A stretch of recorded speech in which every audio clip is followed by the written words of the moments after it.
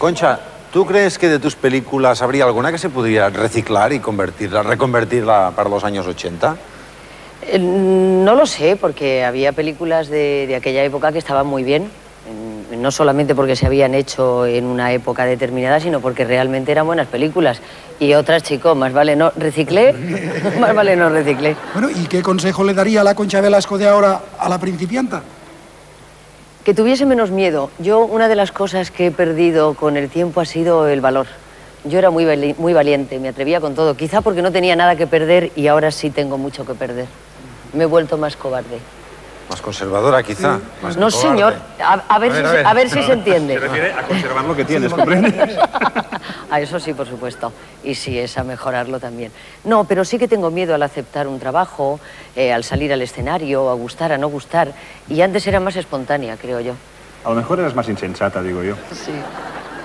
Vamos a imaginarnos que se va a estrenar una película de Concha Velasco en Los Ángeles o en Nueva York o, bueno, un sitio por ahí, ¿no? Sí. ¿A ti qué actriz te gustaría que te doblase? Mira, yo me imagino eso. Perdón, no lo podría soportar. ¿Por qué? Hombre, por favor, una película mía. Que me dieran un Oscar incluso. Fíjate. Subir por esas escaleras y decir eso de In my life. I am very I happy. am very happy. No, no, no. Yo aprendería inglés y me doblaría yo, yo solita. En cuatro días, además. Una, una película con Steven Spielberg, haciendo de compañera de, ¿De Indiana Jones. Ah. no, de Indiana Jones. Ah, por ahí corriendo con bichos que suben y bajan y chillan. Oye, y cuando, Concha, cuando haces una película, ¿qué eres? ¿La voz de su amo? ¿O se te ocurren cosas e intentas cambiarlas si no te gustan y hablar con el director, intentar poner Bueno, cosas de tu cosecha y esas cosas? Ahora voy a, voy a ser todo lo sincera que se puede ser. Yo creo que soy, como todo el mundo sabe, autodidacta, intuitiva, que no, tengo, no he tenido una preparación académica. Todo lo he aprendido en los platós, en los, los escenarios. Y, y, y bueno, los directores han sido para mí más que directores, profesores. Así que a todos ellos les estoy muy agradecida, y ahora lo digo de verdad. A todos. Nos ha a salido, todos. Nos ha salido un poco pelotilla, ¿eh? Es que yo creo que tengo mucho camino por delante todavía. Y están todos ahí trabajando y cada vez más, afortunadamente. No, nada, todos maravillosos y buenísimos. Mm. Vamos a ver si cambiamos un poco el sentido de las chicas de la Cruz Roja. Hay una escena de la época y, y aquí hay un argumento que nos han dado los guionistas para re- reciclarlas, que hemos dicho antes, ¿no? ¿Eh? Vamos a ver. Mira, el argumento es que se va a celebrar una huelga general. Sí, Y tú estás postulando, o sea, para recoger para la caja de resistencia, ¿no? sí. Y luego pasa una situación. ¿Lo Entonces vemos? ahora cuando lo veamos, doblo. ¿Tú, tú dices, tú, te, ¿Doblo tú te dices esto? Bien. ¿Nos pasáis el vídeo, por favor? ¿Una ayudita para la huelga? Gracias, compañero. Gilipuertas, pedías dinero al ministro de Trabajo, ¿no lo has visto? Pero Gutiérrez, Anda, que el Chávez va a meter un chavo ahí dentro. di lo que quieras, pero me ha dado mil duros. Mil duros se los devuelves ahora mismo. Pero si os de UGT. Esos de PSOE llevan un lío ¿Y los mental. comunistas no? Lo nuestro es distinto. No molestes a la compañera, fascista. Esa es del comité con esa ¿No estoy pinta. en huelga? Pues me he visto de domingo. Coño, me abro que viene en guardia. Salud, compañeras. Salud, guapo. Sindicato de policía, si necesitan un servicio de orden, piense que nosotros tenemos una cierta experiencia. De nada, a mandar. ¿Sabes una cosa, tía? Tú me dirás. Hay que ver cómo ha cambiado este país. Realmente he cambiado mucho, Concha.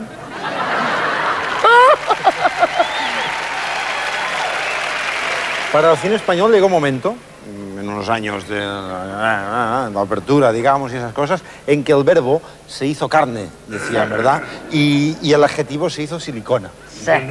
Ya, yo, yo sigo con. Y las mío. cosas se hacían entonces porque el guion lo exigía y, y todo esto. ¿Tú te has visto, has hecho alguna película de estas en que el guion exigía pues que... Que el verbo se hiciera carne. Eso.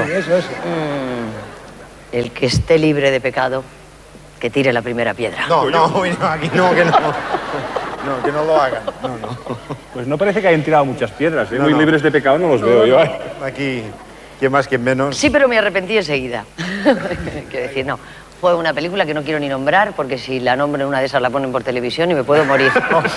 Porque era de las de. ah, ah. Pero la pondrían a las 4 de la madrugada, ¿no? En los ciclos. Ya, pero es en el igual. hotel aquel que decías antes. No, pero no quiero. No, no, no, por Dios, por Dios. No, no, no. No. ¿Tú te acuerdas de lo de las dobles versiones? Sí. Que se hacía una película pura y casta para nosotros y una película así tipo el hotel aquel, ¿no? No, hombre, no tanto como eso, no, es que eso no os podéis imaginar lo que es, no, no, no. Tanto como eso, no.